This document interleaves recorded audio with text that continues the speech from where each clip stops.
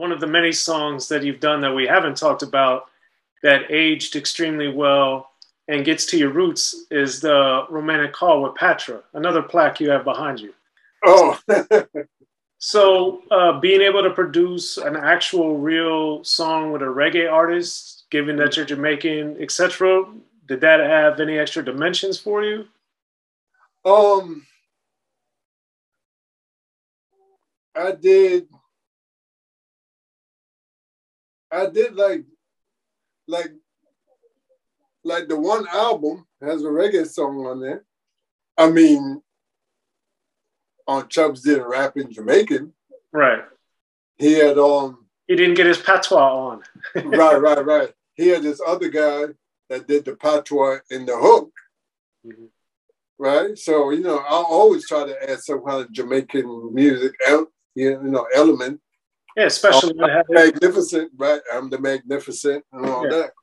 So when I had the opportunity to produce for a song for Patra, and she's Jamaican, Yo Yo was going to be on that song too.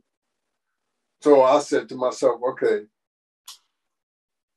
I know, I know yo-yo's not going to sound good on a reggae track but reggae sound good on a hip hop track. Right? So I was like, okay, should I make the whole track hip hop? It'll work. Then I said, nah. When it's Patra's turn, I put reggae. When it's Yo Yo's turn, I put hip hop. And I made it, I, I figured out a way to make it work that you don't you don't drastically hear the transition. Right. yeah, because that that was a, a huge, huge song, as you know. yeah, I had um romantic call when gold has a 45. Wow. I have a 45, a 45 with a cassette plaque. And I used to work at Warner Brothers in, in Burbank, California. Mm-hmm and I had my own office. Somebody in Warner Brothers went in my office and stole that one plaque off the wall. Wow. What what what did you do at Warner Brothers and when? I used to be um I used to be A&R back in 96. Okay. Wow. I didn't know that. So who who did you work with, or were you doing stuff with like Qwest Records, or what were you doing? No, um, um, Benny Medina's contract was up, mm-hmm. and he didn't want to be signed to run the back division at Warner Brothers. Right. So as I'm telling you the story, I'm telling you because now I find out certain things or why certain things happen. Come to find out, Warner Brothers was trying to get rid of the Black Division, the Rock, and some other division. They were trying to get rid of that and they were trying to move mainly into television. They wanted to keep one or two, you know, from genres. I forgot which one it was, but they were slowly trying to get rid of those genres. So my lawyer, Denise Brown, had the opportunity to take Benny Medina's spot. So they asked her, and she said, yeah. So it was time, once she did the contract with Warner Brothers, blah, blah, blah, now it was time for her to put her team together. So she asked me if I wanted to be one of her um, A&R rep. I've never done it, A&R before. I said, I'm not doing it. She said, hmm, it's simple. You just got to find good acts. So I was like, all right. so I ended up taking that position. Now, I thought I was going to be in the New York, Manhattan office. But she was like, no, I don't know nobody out here in Cali. Why don't you move out here? Well, I was already out there. She asked me when I stay out there. The reason why I was in Cali at the time, Dr. Dre had a keyboard player. that played on his stuff, Fridays and all that stuff. He wanted to put our, our album together. He wanted to be an artist because Dr. Dre and Suge started Death Row. So he wanted to be one of the artists on Death Row. But you know, um, it was a couple other people that Dre signed to Death Row, but Dre didn't want to be the producer of all the acts on Death Row.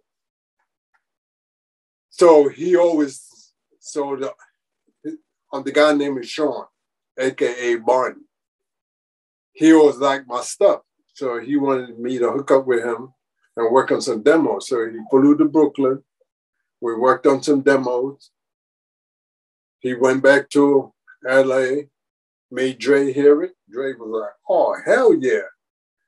And I flew out there. That's when Dre was Dre was living in Encino. So um went out there, he had a studio at his crib.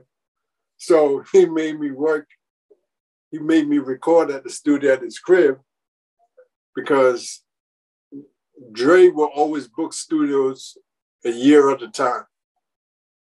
He book a studio for a year. So the studio came in, they booked, and Suge had his office set up at Can right? You know, Suge is the blood, so the carpet was red, whatever. So Dre didn't want me to be in, mixed up in all that crap. So that's why he wanted me to record out of his crib. He want he, he didn't want me around that. so we recorded songs. I got maybe like five songs, real good songs. I, I, I basically I put on like an LA hat that I didn't have, and my sound stuff style like LA. So we recorded the song. Uh, everything was going good. Then Dre and Suge had they fallen out. So everybody that was signed to Death Row at that point was shelf. And the guy Sean, he was mad. Not he didn't leave California. He left America. Wow. he just bounced. So I still got his demos and all that. So since I was already out there, and Denise asked me to do A&R, I end up staying out there and doing some A&R. So now I only end up doing A&R for like a year because I wanted to sign what's the name of the group with on will.i.am? Black Eyed Peas? Black Eyed Peas. Black Eyed Peas had a showcase on Sunset Boulevard right? And I went and checked them out. I was like, yo, this guy is hot. So I had their demo, got their demo from one of our A&R meetings. I presented it. I said, yo, we need to sign these guys. These guys are nice, blah, blah, blah. Warner Brothers purposely didn't give us a good budget to sign them. Hmm. That's why Sony ended up signing them over because because they would eventually want to get rid of black music. So they didn't want to give us the right budget to, to sign folks. That's crazy. huh. That's wild. Did you end up signing anybody? Um, Raw Breed, these guys from the Bronx. Yeah, yeah. Yeah, I signed them. Okay. that song Calito's Way and all that? I have that because the it's like a blue cover, right? Yeah. Yeah, I have that album. Yeah. Raw Breed. We did we did that at um at Ice T script. Okay. How about that? so then uh we've been talking a long time. We'll have to hopefully have you come back again. But what um is there anything that you're doing now you want to tell people about or have people look out well, for? I'm working on, I have uh, a song on Chubbs. I have another, not not the same title, but I got another Howie's T Dog. and I'm working with this girl named um, Crystal Johnson. I don't know if you heard of Crystal Johnson. Well, she sang she sang most of the hooks on Mobb Deep. She was on Temperature Rising. Yeah, and she sang on CL Smooth. Mm-hmm. Pete Rock CL Smooth. Yeah, yeah. All right. Yeah. Her and I, I knew her from way back in the days. We wrote a song for Tara Kemp. Okay. On um the Class Act soundtrack. Mm-hmm. Yeah, so that's how I, I knew her. So now uh, I hooked up with her again a couple couple months ago, and we're working on some song. She got the song, the sample. the sample is a um.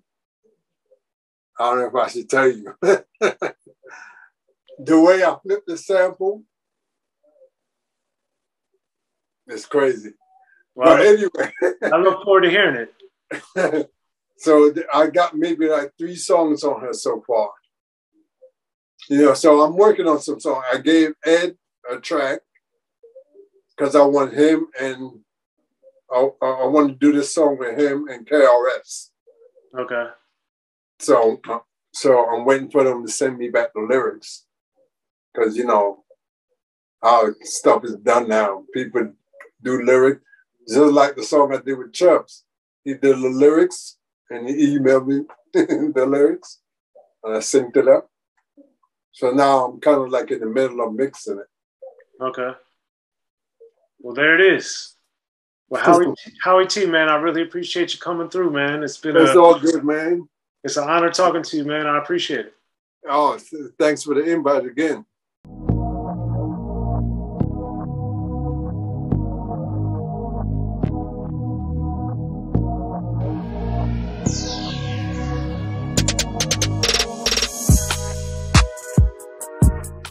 Be sure to check out the history of gangster rap by Soren Baker. He's official. History of Gangster Rap features exclusive interviews with Ice-T, Snoop Dogg, MC Ren, the DOC, and dozens of others. The History of Gangster Rap, a definitive look at how Los Angeles changed rap forever. In Los Angeles, the streets definitely set the tone of the hip hop music. A 19, I got a $50,000 car. My whole angle always was I'll be street, but I will always tell you the horrors that go along with this life. It will be penalties and casualties for just wearing the wrong color in somebody's neighborhood. And once gangster rap made it from the streets to the TV, the genre exploded.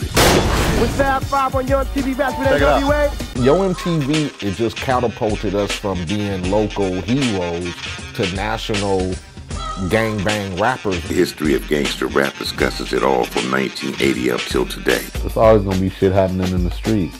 You know what I mean? So it's always going to be something to talk about. The history of gangster rap in stores now.